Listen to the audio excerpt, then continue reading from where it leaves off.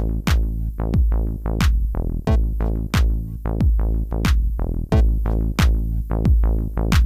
you.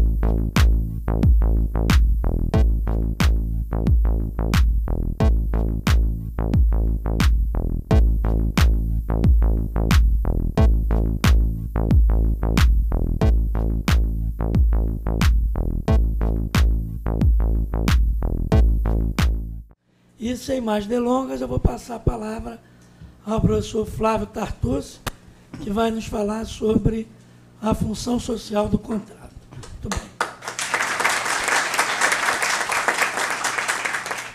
Bom, bom dia a todos. É uma felicidade, uma honra voltar para essa casa, com a qual eu tenho uma relação de longa data. Eu era, fui professor aqui muito tempo, nas salinhas, não era nesse prédio, era no outro, mas por muito tempo eu lecionei aqui na Emerge, considero aqui a minha casa, mais até do que, do que outras escolas de magistratura, eu considero aqui a Escola da Magistratura de, de Recife as minhas casas. Então, fico muito feliz de poder voltar aqui nesse encontro do Fórum Permanente de Direito Civil, do qual faço parte, acho que sou o único de fora, né, Marquinhos? É. Então, fico muito honrado de poder voltar aqui para essa cidade. E eu estou um pouco preocupado porque a última vez que eu vim aqui choveu, essa vez também. Eu estou quase um, um curitibano que para onde vai leva a, as nuvens, né? Então eu fico preocupado que eu venho agora no feriado, né? Aqui é a minha segunda casa mesmo, para passar o feriado. Estou preocupado de trazer a chuva também, né? Vamos observar. É, ficar preocupado. Senão a gente vai ter que ir lá no. Ficar o dia inteiro. Como é que chama aquele restaurante? Guguti. Guguti. Ficar lá o dia inteiro almoçando no domingo. A gente faz almoço de família às vezes aqui, é muito legal. Bom, eu tenho uma relação afetiva muito grande aqui com o Rio, como vocês também, né? Porque o único carioca da gema aqui nessa mesa é o desembargador Mauro Martins, né? Uma revelação bombástica que eu não vou entrar em maiores detalhes, né? Mas isso eu acabei ficando sabendo pela nossa relação de intimidade com autoria, né? Por conta do código. As mulheres E entregam, né? é, as mulheres entregam. É impressionante, né? E eu brincava que era uma conexão Rio-São Paulo. E não é bem assim, né? Não é bem assim, mas, mas digamos que é uma relação afetiva. São Paulo é. São Paulo tem dois autores, né? mas não entramos em maiores detalhes. Bom, é, eu gostei muito das exposições anteriores e não poderia ser diferente, porque eu sei da qualidade do, do, do Mário, com quem tenho muitas divergências, mas na exposição dele eu concordei com es- espetacular exposição. Só eu vou fazer uma pontuação de uma discordância até para motivar o debate no finalzinho, quando ele diz que há uma volta da autonomia da vontade com a lei da liberdade econômica, isso não é verdade, né? Existe uma tentativa de volta da liberdade econômica lá do Paulo Guedes, a equipe dele, o pessoal do Mises von Ludwig, né, que compõe lá do Instituto Mises, né, o professor André Santa Cruz, o Giancarlo Lorenzon, grandes pensa- pensadores, mas a hora que foi para o Congresso a coisa complicou um pouco. né? Tanto que na própria MP 881 se colocava a autonomia da vontade, e as duas previsões que se tem na lei da liberdade econômica é autonomia privada. E a lei, não se pode dizer que ela é uma lei libertária, porque ela protege, por ela amplia a proteção do aderente, ela protege até a parte de contrato paritário. Né? Se eventualmente num contrato paritário você consegue identificar alguém que estipulou a cláusula, a interpretação é contrária à parte que estipulou a cláusula dentro do contrato paritário. né? Então, isso é democracia. Eu participei dessa, dessa conversão, junto com o senador Pacheco, outros senadores também que pegaram textos meus e fizeram, e deputados também em emendas, depois na Câmara dos Deputados, o deputado Luiz Flávio Gomes também fiz propostas. né? Então, assim, democracia é isso. Nós teremos tentativas de mudanças libertárias, mas aí existe a comunidade jurídica, aí existe o parlamento, aí existe o judiciário para fazer esse controle. A coisa não é tão simples assim. Né? Então, é, eu não acho que houve aí uma, há uma. haverá uma tentativa de volta da autonomia da vontade. E eu vou até contar aqui para vocês algumas histórias de bastidores que aconteceu também nessa conversão dessa lei, a, a mudança da função social do contrato, o 113, como aconteceu, né, por aquilo que a gente ficou sabendo. Existem outras tentativas, nós vamos ter sexta-feira a reunião do Código Comercial, né, depois de amanhã, né, que é um projeto também tem, e vai ser até interessante porque nós vamos ter lá comercialistas, civilistas, juristas que seguem linha econômica, vai ser algo bem rico também esse debate na próxima sexta-feira. Eu estou até entusiasmado. Né? Então, assim, Mário, é a única coisa que eu acho que a gente pode eventualmente debater e vai ser um único contraponto. Eu acho que você também. É, eu acho que é uma onda liberal, existe uma onda liberal no mundo, não tem como é, lutar contra, contra essa onda, mas a gente também tem que ir devagar. Né? O direito é a matéria do não. Civilistas existem há dois mil anos dizendo não. E a gente tem que saber dessa nossa missão de dizer não. Né? Bom, depois do professor Schreiber, eu sou fã incondicional, só casos eu espetaculares, eu, eu sou fã, sigo a linha do Anderson, é, recomendo ele para os meus alunos de mestrado, meus alunos de doutorado. Temos aulas que nós debatemos a doutrina dele. É uma baita referência. Então, espetacular. Foi uma manhã muito rica. Meu pai era radialista e eu um pouco cresci nesse ambiente lá no sul de Minas e eu acho os radialistas muito parecidos com os civilistas, né? Os ambientes são muito parecidos, né? O civilista é chato e radialista é chato também, né? Só que civilista existe há dois mil anos, né? Radialista menos, né? Mas ele, meu pai uma vez falou para mim e eu segui isso. Ele falou o seguinte: olha, quando você for se cercar de pessoas, se, se cerque dos melhores. Então, é, quando eu pensei nesse código, depois eu fui conversando um a um, é, nas áreas respectivas, eu pensei naqueles que para mim são os melhores. Tem alguns que eu também gostaria que estivesse, que a gente gostaria que tivesse no código, mas por razões editoriais, econômicas, a gente não conseguiu trazer. É, mas espetacular, Schreiber. Sua fala irrepreensível. Parabéns. Bom, então vamos falar da, da, da função social do contrato, vamos falar da lei da liberdade econômica. Eu fiz, fui fazendo algumas anotações. E aquilo que o professor Mário falou no começo da exposição, de que a autonomia privada encontra limitações nas normas de ordem pública, foi dito várias vezes, é a redação do artigo 3 inciso 8 da Lei da Liberdade Econômica. E é bom que vocês saibam como era antes. A previsão que se tinha na MP 881 era contrário a isso. A previsão que se tinha na MP 881 era de uma certa prevalência do venire sobre norma de ordem pública. Se uma parte contratual, inicialmente era para qualquer contrato, depois foram feitas sugestões, ficou só para os contratos paritários. Isso foi o, o deputado Jerônimo Gurgen que colocou isso na Câmara dos Deputados, com uma recomendação feita por um amigo nosso que também atuou muito com ele, né, por conta do MBL também, que foi o professor Maurício Bunazar. O professor Bunazar fez sugestões, que foram adotados e colocar contrato paritário aqui no artigo 3 inciso 8 A gente sempre conversava, né? Ele falou comigo e falou: olha, é o ideal, porque até tenho ciência disso.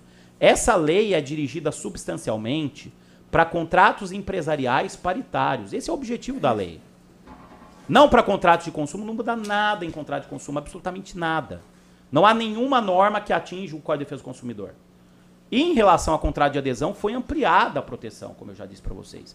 Então, o objeto principal dessa lei é contratos empresariais paritários, notadamente contratos entre grandes empresas. Essa lei foi feita para resolver problemas de arbitragens, demandas arbitrais, de, grandes demandas arbitrais. Né? O professor Anderson tem uma atuação muito ampla, de, talvez seja da minha geração principal árbitro hoje, da minha geração, sabe disso, que essa lei tem uma série de utilidades. Eu vou dizer para vocês, eu já pegando essa lei, eu estou com um caso de encerramento de arbitragem, que é um caso que está comigo há seis, seis meses, eu estou usando a lei. Eu estou com um caso de parecer de um contrato empresarial de transporte, já estou usando a lei. Tem uma arbitragem que eu vou começar como advogado, vai ser utilizado esse dispositivo. Então, esse é o objeto principal dessa lei. Né? É boutique jurídica.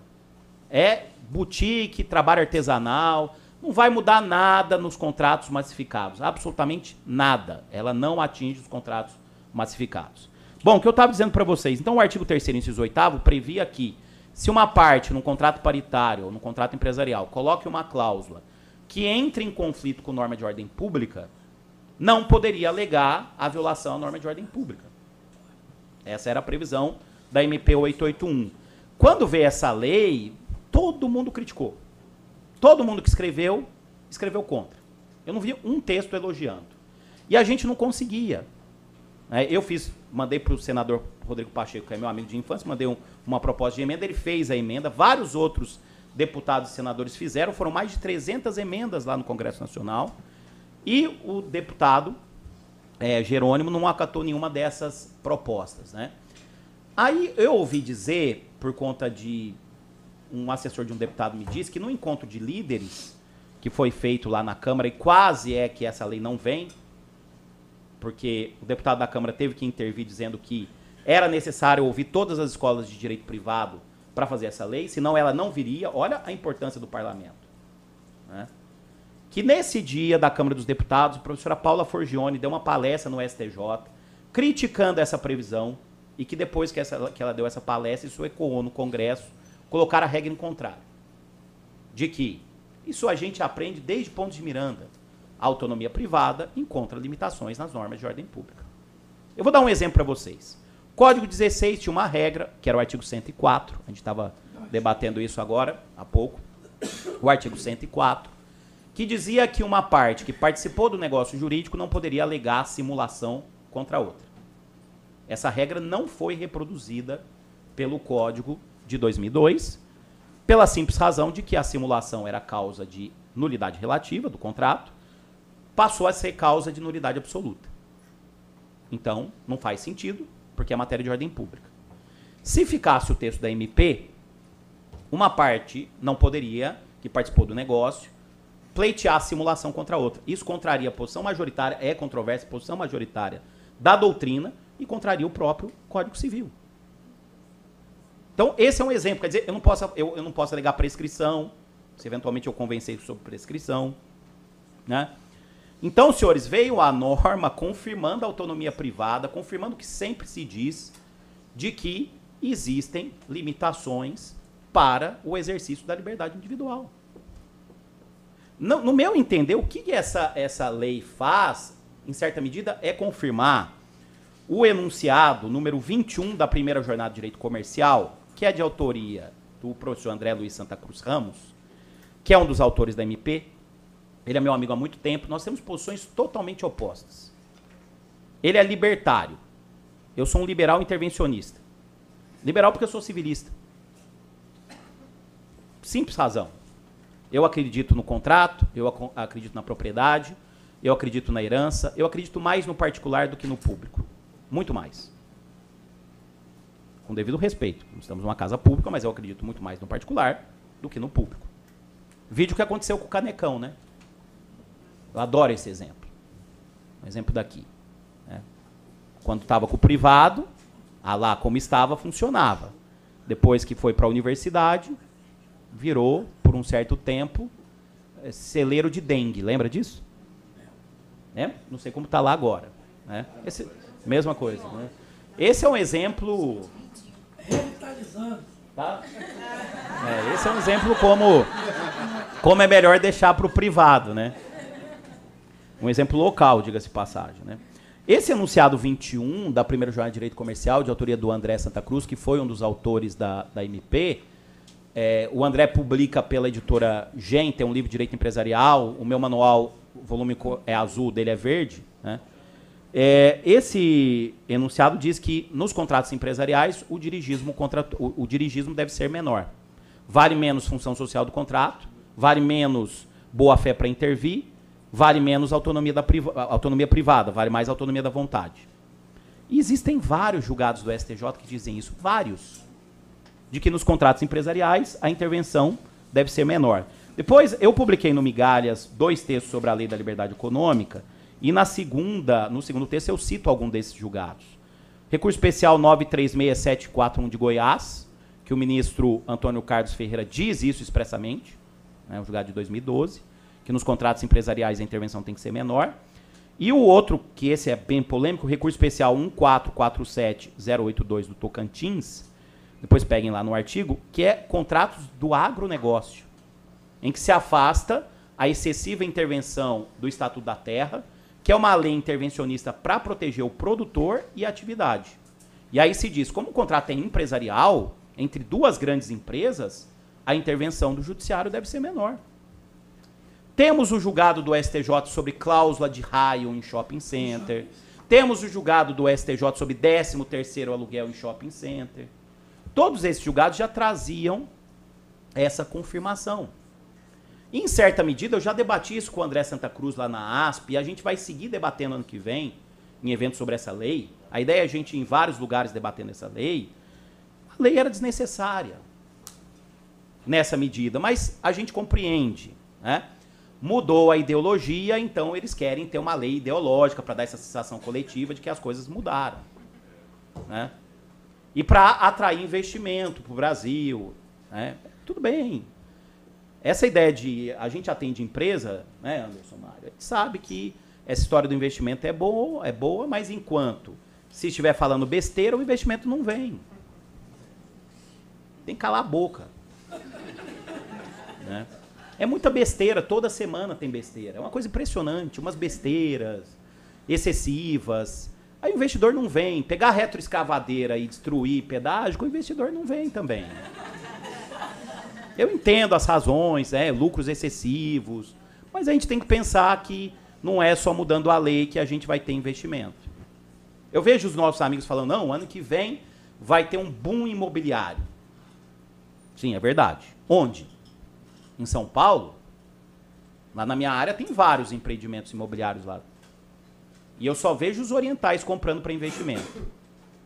Vai lançar onde? Quando? Quem vai comprar? Vai pagar quem vai comprar? São várias dúvidas que a gente tem que resolver. Com essa lei que é um horror, que se a pessoa entra e paga, dá uma entrada grande, se não cumpre, for patrimônio de afetação, perde metade do que pagou. Claro que a jurisprudência vai controlar isso, mas vai demorar. As pessoas vão investir em imóvel? Vão ter coragem de investir com essa lei, que é uma lei excessivamente protetiva do mercado? Então são dúvidas que a gente tem que, sem dúvida alguma, responder.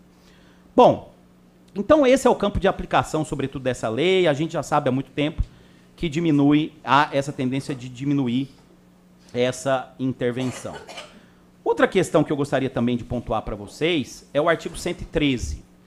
E o Anderson escreveu aqui, ele escreveu sobre a MP, né, o, o, o, o livro está atualizado com a MP, mas em fevereiro vai sair a nova edição já com a lei, que o que está basicamente no 113 hoje do Código Civil sobre negócios jurídicos empresariais, o 113 é o artigo da boa-fé. Ele recebeu parágrafos, né, dois parágrafos, e o caput é aquela regra antiga que todo mundo já sabe, de que os negócios jurídicos devem ser interpretados conforme a boa-fé e as regras de tráfego. O que está ali agora estava nos artigos 480A e 480B, que é um artigo que trata de revisão de contratos unilaterais, o 480. Então não havia nenhuma relação com contratos unilaterais. Né?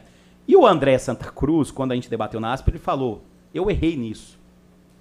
Eu não deveria ter colocado ali porque é, os civilistas não entenderam bem. Aí eu falei para ele, mas entender bem o que, André? Você colocou num artigo que não tem nenhuma relação com o tema.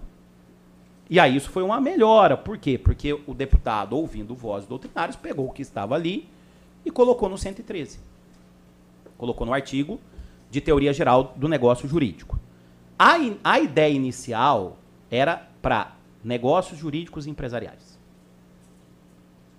Essa era a ideia inicial. Né? Até a última hora era negócios jurídicos empresariais. Aí o Maurício Bunazar, falou comigo antes, né? ligou lá para o deputado, inclusive com o apoio do Kim Kataguiri, que também atuou muito, né, MBL, e disse: olha, essas regras já são tão aplicadas, já são tão corriqueiras, especialmente em arbitragem, que a gente pode tirar o termo empresarial. Até porque nós entendemos que não existe divisão de negócios. É, o código não adota a divisão de negócios empresariais e negócios civis.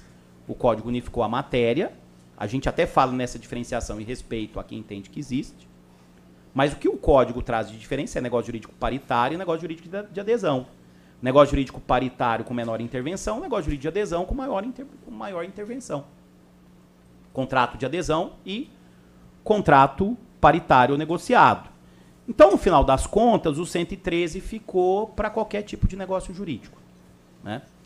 Quais são os parâmetros para a interpretação dos negócios jurídicos em geral?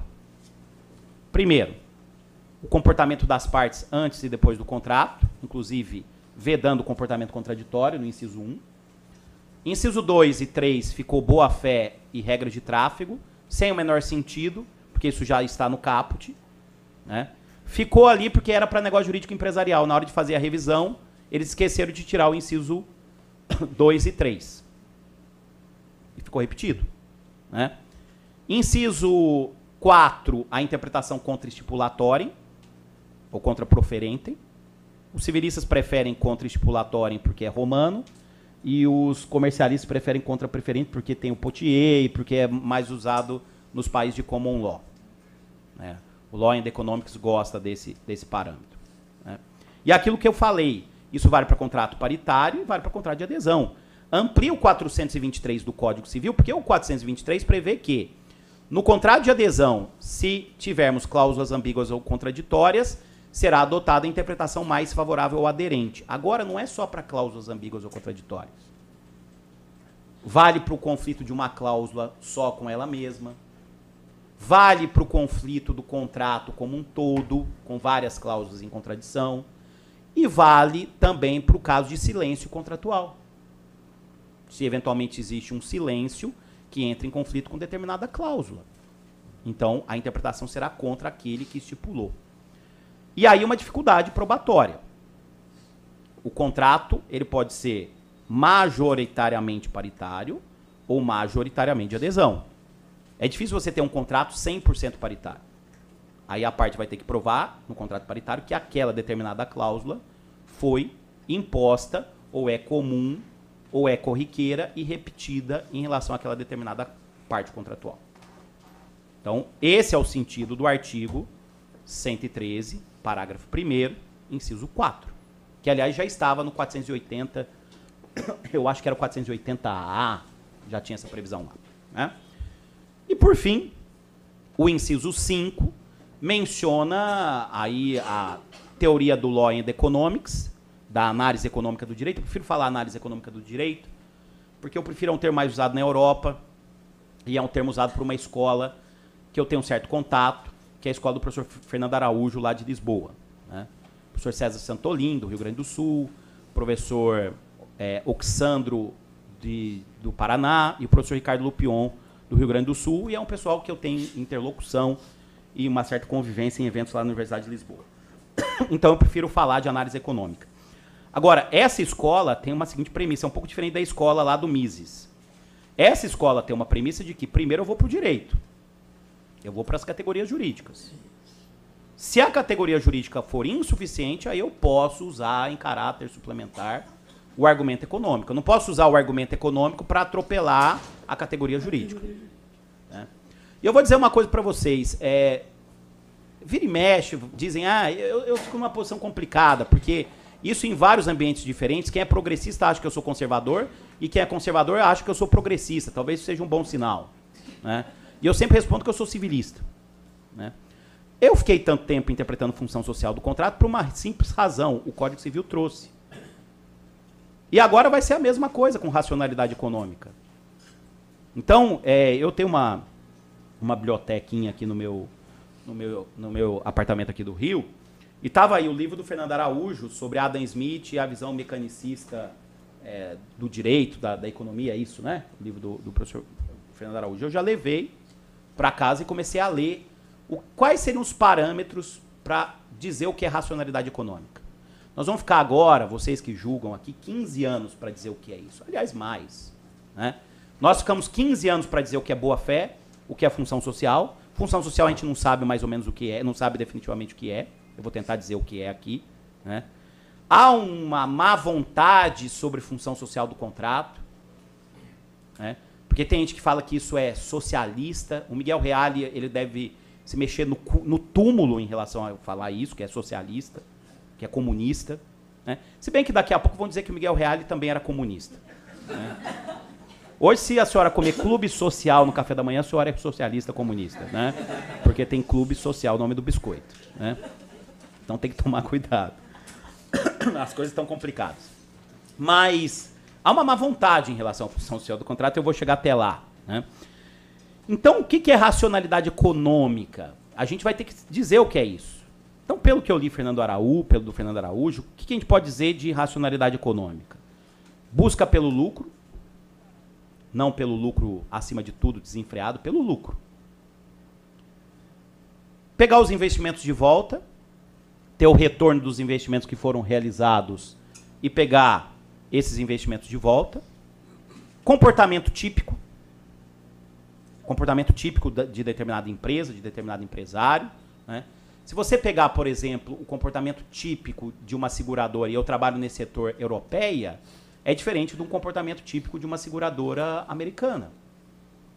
A seguradora europeia, apesar de ter a busca pelo lucro, tem uma preocupação social um pouco maior do que a seguradora americana.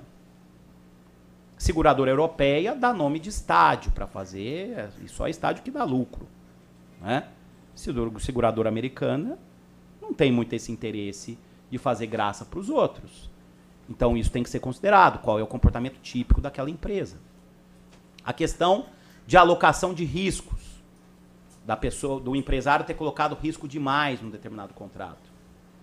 Dele não ter sido diligente e probo, dele ter excedido. Eu estou com um caso lá que se discute a aplicação do 473 parágrafo único, um dos casos que eu citei no começo, prorrogação compulsória do contrato para contrato com prazo determinado, com termo final.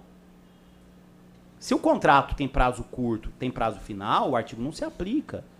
Até porque uma pessoa, um empresário que coloca investimentos consideráveis num prazo, num contrato de prazo curto e que vai vencer, ele não agiu com diligência que se espera de um empresário. Ele não pode colocar todas as cartadas que ele tem num único contrato empresarial. Ele tem que, eventualmente, ter outros contratos, até porque esse tipo de empresário tem que ter o pé em várias canoas. O empreendedor tem que ter o pé em várias canoas. Então, tudo isso é. Tem, e eu comecei só a estudar. É, tudo isso tem relação com o que seja racionalidade econômica. Agora, vocês vão ter que dizer aqui no Rio o que é racionalidade econômica. O TJ de São Paulo vai ter que dizer o que é racionalidade econômica. E daqui uns 10 anos, o STJ, terceira e quarta turma, vão dizer o que é racionalidade econômica. Perceba o que eu falei da ideologia, porque o André, querido amigo do André Santa Cruz, ele critica a cláusula geral da função social do contrato, mas essa ele não critica.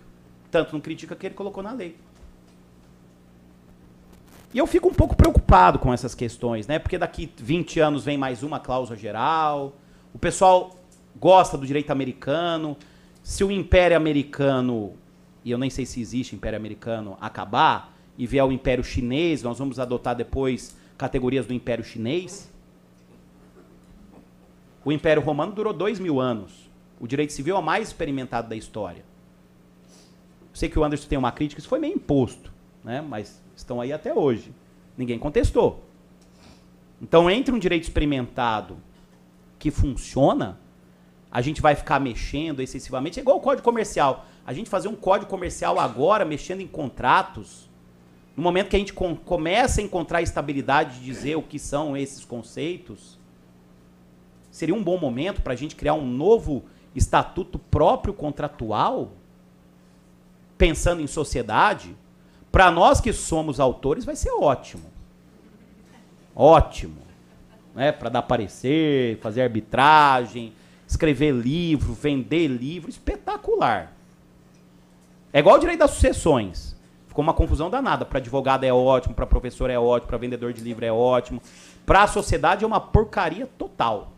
Então a gente tem que também pensar em sociedade. Sabe que eu estou estudando alemão faz cinco anos e tenho, tenho contato com a cultura, apesar de não ir lá tanto com frequência, mas isso é diferente do alemão para o brasileiro. O alemão são várias pessoas pensando em conjunto para não se ferrar individualmente. individualmente. O brasileiro são várias pessoas pensando individualmente para se ferrar em conjunto. Não há essa preocupação no outro. E esses discursos individualistas, na verdade, só pioram tudo isso, né? no meu entender. Então, esse, esse conceito de racionalidade econômica, o, Marco, o desembargador Marco Aurélio, meu querido amigo Marquinho, né? a gente tem uma implicância em relação a isso, mas a gente vai ter que. Vai ter que... E vai ter que estudar e tentar é, analisar o que seria, o que seriam esses conceitos, é, não tem o que fazer, né? Negar absolutamente que a lei não trouxe, tá lá, racionalidade econômica, houve uma tentativa de tirar isso, mas eu percebi que é feito por concessões. Olha, você já mudou lá um artigo. Chega. Já teve a sua vitória. Né? Então, já está muito bom. Eu estou dizendo isso porque a minha principal contribuição para essa lei da liberdade econômica foi o artigo 421. Na verdade, não é uma contribuição minha, originalmente minha. A redação do 421, ela tinha dois erros técnicos. Ela previa a liberdade de contratar será exercida em razão e nos limites da função social do contrato. O projeto Ricardo Fiuza, que o Mário atuou, pegando pareceres do professor Junqueira, do professor Vilaça, já trazia esse projeto a modificação do artigo. Para ele dizer o seguinte: a liberdade contratual será exercida nos limites da função social do contrato. Né? Então, primeiro erro, não é liberdade de contratar, porque a liberdade de contratar é ilimitada. A liberdade de contratar tem relação com quem você contrata e quando você contrata. Eu quero comprar agora um carro da BMW, liberdade de contratar. Com quem eu contrato e o momento em que eu contrato. A função social do contrato, que traz uma ideia de que o contrato tem uma finalidade coletiva, além dos interesses das partes, limita não a liberdade de contratar, limita a liberdade contratual, que tem relação com o conteúdo, com as cláusulas, com eventuais excessos contratuais. Vocês acham que no Brasil são cometidos excessos contratuais ou os contratos são justos, equilibrados?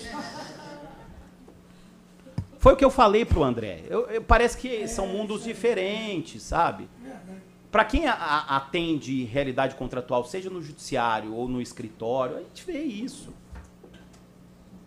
É, aqui é o país da raposa, do abuso, da malandragem. Os casos que eu tô são todos de sacanagem. Mas é sacanagem bravo, vocês sabem disso. Vocês, os que são advogados experientes, que trabalham aqui no fórum, sabem, é só sacanagem. E não é só no Brasil, tá? Claro que aqui a sacanagem é um pouco maior, no mundo inteiro. Você pensa que na Alemanha não tem sacanagem? Tem sacanagem. Você pensa que no Japão não tem? Tem sacanagem. Só que tem um pouco mais de vergonha na cara. Mas a sacanagem, contrato é instrumento de circulação de riqueza, de dinheiro, mas é de sacanagem também. Eu vou dar um exemplo para vocês. Eu, um dos casos que eu atuo, não vou citar nomes, é caso que envolve arena de futebol. É tanta sacanagem que nenhuma empresa mais vai investir no Brasil em arena de futebol. Até porque essa empresa ela ia montar arenas em outro lugar. Só que fizeram tanta sacanagem com ela que ela desistiu. A ideia era montar no Peru, no Chile. E o problema não é só no Brasil, é a América do Sul inteira. É, só louco, depois do que aconteceu nesse caso, vai investir em arena de futebol no Brasil. É nesse ponto que a função social toca com a função econômica. Se o contrato for abusivo, extorsivo, traz sacanagem, traz abuso, ele atinge a função econômica, porque ninguém vai querer mais investir.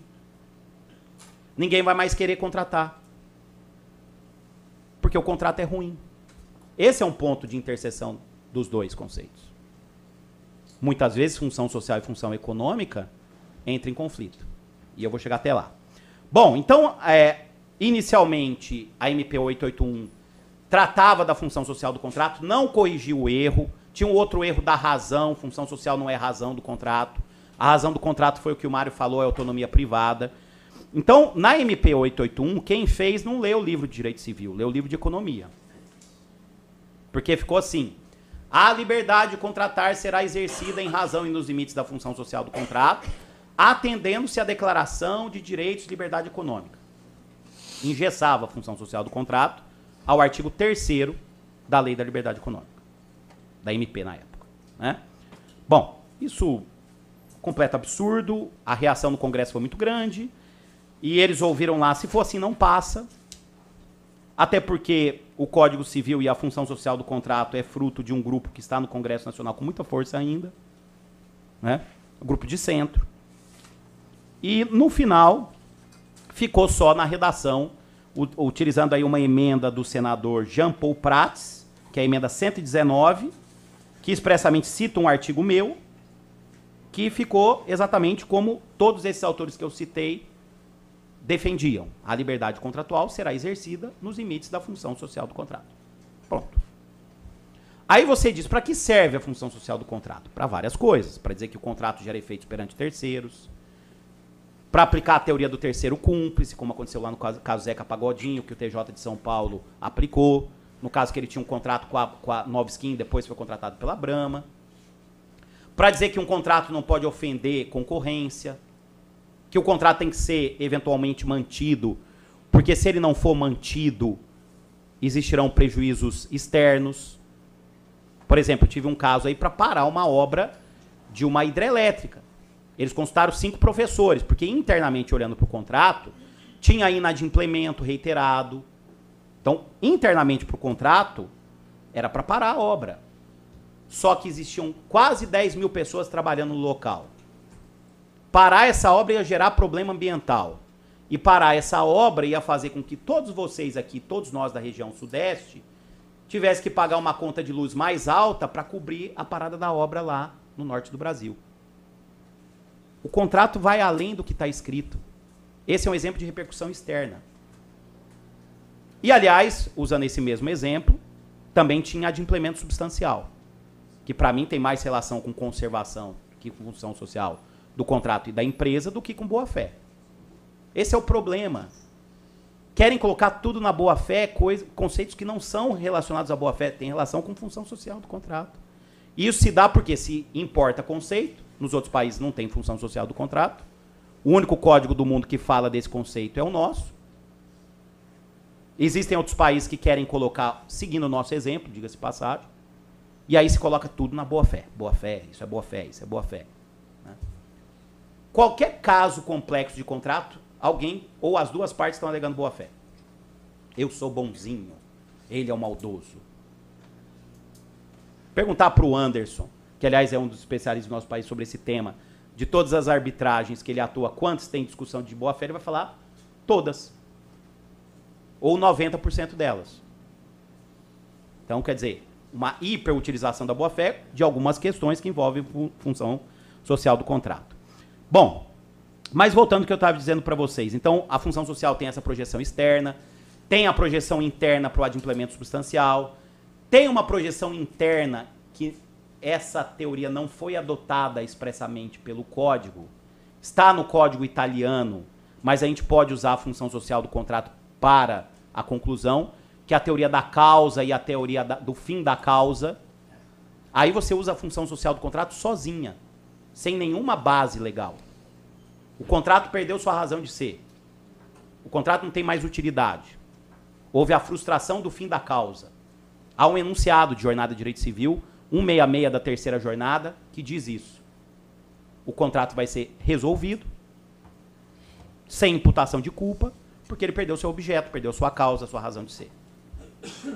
Vou dar dois exemplos. Um, aliás, eu atuei. Uma superfície para utilização de terras para plantação de eucalipto para fornecer para uma termoelétrica. Contrato de longo prazo. Depois de cinco anos de contrato, a terra ficou improdutiva para plantar eucalipto. E, aliás, a termoelétrica teve que fechar. Porque para transportar a biomassa até lá ia ficar muito caro o custo da termoelétrica. O contrato perdeu a razão. Sem culpa de ninguém. Porque a terra ficou improdutiva. Os laudos que foram feitos anteriormente mostravam que aquela terra tinha produtividade por 20, 30 anos. Só que aconteceu algum problema ambiental, que não sabe bem o que é, o contrato perdeu a razão de ser. O negócio perdeu a razão de ser. Outro caso. É feita uma concorrência a empresa pede a prorrogação compulsória do contrato quando outra pessoa venceu a concorrência privada. E a outra empresa é justamente o caso lá do transporte que se pleiteia a aplicação do 473, parágrafo único. Se outra, outra empresa venceu a concorrência privada, que aliás essa empresa que está pleiteando a prorrogação participou e perdeu, não tem como prorrogar compulsoriamente o contrato. Até porque tem um terceiro de boa-fé que venceu o bid, a concorrência privada. O contrato original perdeu a razão de ser. Não tem como prorrogar esse negócio com base no 473. A questão se resolve com perdas e danos, no máximo. Então, assim, é o que eu disse. É igual o nosso amigo Mazei fala com a superfície. O pessoal não usa, eu uso e estou sendo feliz e estou me dando bem usando. Existe essa implicância ideológica, e é uma questão técnica de você utilizar o princípio em relação à função social do contrato. Ela tem outras aplicações também. Bom, vamos seguir adiante. E eu devo voltar para outras aplicações mais à frente. O parágrafo único do artigo 421, é, ele foi mantido também. É, ele diz, primeiro, que a revisão contratual, regida pelo Código Civil, é excepcional. E depois o 421A, no parágrafo 2 vai repetir que a revisão do contrato é excepcional e limitada às partes. 10 minutos.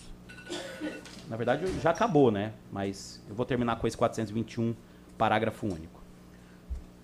Alguém aqui já conseguiu rever um contrato pela teoria que foi adotada pelo Código Civil, a teoria da imprevisão para um, a teoria da onerosidade excessiva para outros? Alguém conseguiu? Estou falando de revisão de contrato de consumo. Essa funciona. Alguém se lembra de um precedente do STJ em 15 anos do Código Civil que aplicou a teoria da imprevisão para uns ou a teoria da onerosidade excessiva para outros? Sabe por que, que vocês não conhecem? Porque não existe. Porque o Código Civil adotou uma teoria para rever contrato que exige que além, que o fato, além do fato ser superveniente, o fato tem que ser imprevisível.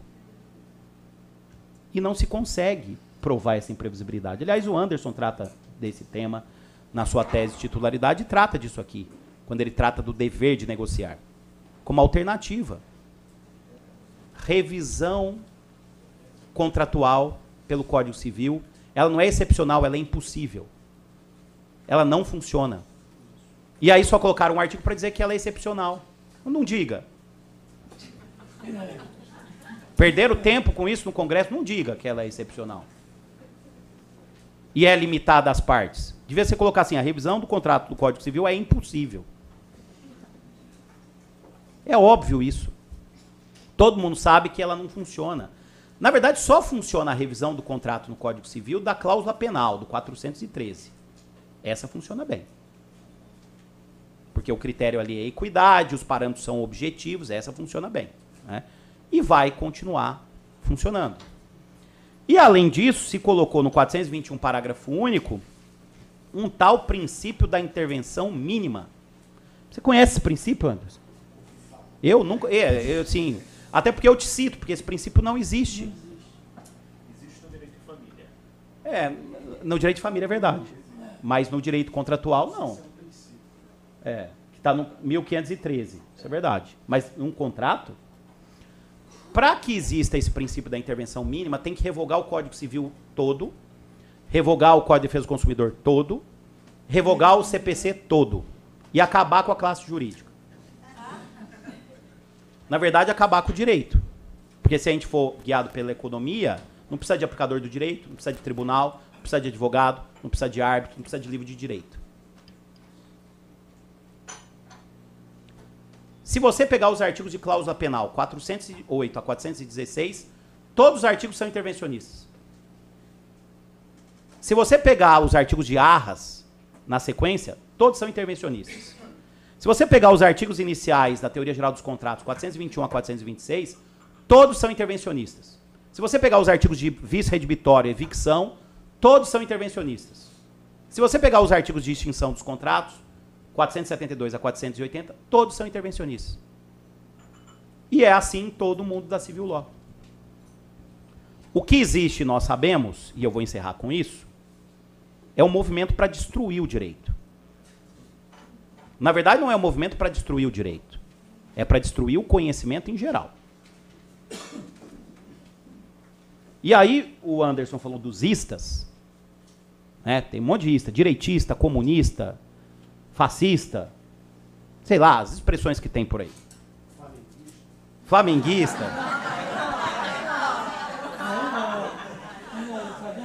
E é complicado, porque eu sou mineiro, você sabe que todo mineiro é um flamenguista enrustido, né? Isso é verdade. Porque para, passava no cinema aquele, como que chamava? Canal 100, Canal né? 100. Então você ia, você ia no cinema da cidade do interior, começava o filme, ia ver Trapalhões. O que que passava? Canal 100. E aí quem aparecia? O Zico, Zico. Né? Adílio, Nunes. Então foi feita uma espécie de lavagem cerebral propagandista aí em relação a todo o interior de Minas Gerais. Então a gente ficou com aquela. Não, o Fluminense só perdia. É, é às vezes tinha lá uma dupla que jogava bem. É. É. Mas o que eu quero dizer para vocês, senhores, nós não podemos admitir isso. E isso aconteceu com a lei da liberdade econômica, porque o pessoal já tinha lá um pacote preparado com hipoteca reversa, que eles vão tentar colocar isso. Hipoteca reversa é assim, o idoso vai poder fazer hipoteca. Né? Aliás, o tratamento da lei é muito esquisito. O Marco Aurélio tem um, um, um texto muito bom sobre isso. Né? O idoso, uma questão de autonomia, ele vai lá, dá um pega um financiamento para viver o resto da vida bem, dá o único imóvel que ele tem hipoteca. Pelo projeto é alienação fiduciária. É, isso. E é esquisito o texto. Se ele morre, perde automaticamente para o banco. E a legítima? É. E a questão da, da, da lesão? Né? Ah. O problema é que o problema é que a figura é uma hipoteca, é chamada de alienação. É hipoteca, aí depois fala alienação. Alienar tudo bem. Doar ele não pode. E a hipoteca? A hipoteca fica no meio do caminho. Ela está mais próxima de uma alienação ou de uma doação? Uma alienação onerosa. Né? Então, ia, isso ia, ia vir. Mas a reação que houve em relação a essa medida da liberdade, é, essa MP, que no final a lei, na minha opinião, ela traz mais vantagens do que desvantagens. Por exemplo, o dolo da desconsideração e acabar com a desconsideração. A reação foi duríssima, tiraram na última hora.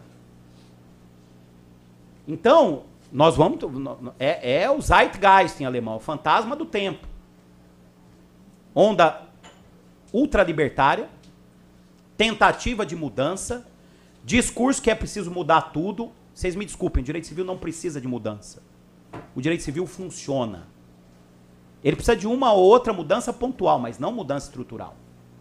Quem atua com direito civil sabe que, aliás, direito civil não é ramo do direito, é tronco. Sempre foi. É o mais experimentado. É o que mais funciona. É o que mais traz civilização. O Anderson usou essa palavra. E nós não vamos admitir. O Venosa falou isso num evento que a gente estava em São Paulo. Que essas mudanças venham sem o debate da proteção da pessoa humana, sem a necessidade de se proteger aquilo que o direito civil serve. O direito civil tem uma função primordial, que é resolver o problema das pessoas, não criar mais problema para as pessoas. Então, tenham certeza, em relação aos civilistas, a gente vai se manter dirigente em relação a essas mudanças que com certeza virão. Pelo menos as tentativas. Obrigado, Marquinhos.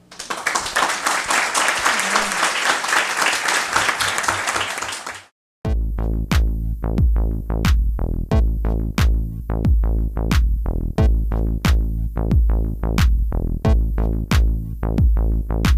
you.